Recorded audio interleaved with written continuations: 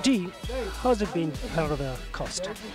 Um, it's been quite an amazing experience thus far. I mean, we're almost at the end now, so it's been quite an amazing journey. I've been tired, but you'd rather be tired from doing stuff like this than doing anything else.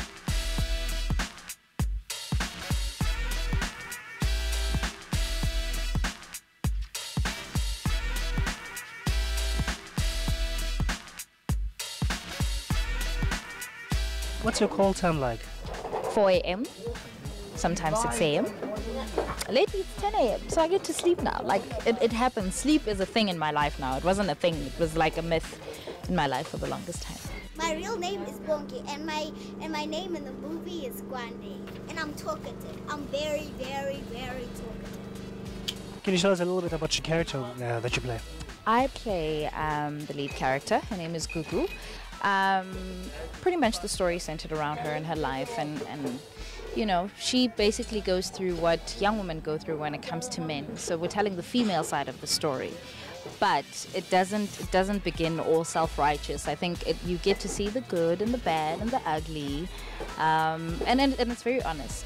I'd love to tell you more, but I can't tell you any more than that. But Gugu goes through some things that a lot of women will relate to, especially with regards to men. She gets caught between two guys. She gets some good advice. She has good friends. She has a good career. But love always rules a woman's world, and that's why things just sometimes go out of whack.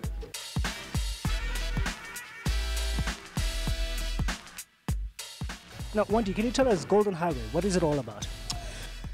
It's a couple of things. There's got a couple of elements to the story. It's a story about love. Um, it's it's a it's a it's a it's a tearjerker. It's a it's a heartwarming story. I'm not gonna go in depth to give away the story really, because guys must come and see it. But you know, I, there's few things I can promise everyone's gonna like. Um, if you've watched movies that sort of warm your heart and you are a romantic person, this is the sort of movie for you.